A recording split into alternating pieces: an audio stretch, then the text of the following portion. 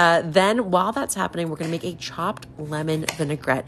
This is something that I feel like people don't think about very much using the entire lemon, but there is a extra lemony flavor that comes from the peel, as well as a little bit of bitterness, which you're going to balance out. Don't worry. Um, you just want to give your lemons a good scrub before you chop them up. Find organic if you can.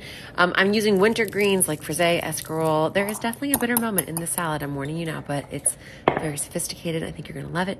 Um, making that vinaigrette with the roasted garlic, chopped lemon, a little grain mustard, olive oil, salt, honey for a bit of sweetness. I chopped up some dried apricots, but you can definitely use fresh if you have your hands on those. Or persimmons are beautiful, something juicy and sweet. Lots of fresh herbs. That always completes a salad for me. I did parsley and some finely chopped mint, and then I threw some chopped pistachios on there because a nutty crunch really seals the deal for me with a layered, complex, bespoke salad mm, mm, mm. like this one, which is delicious.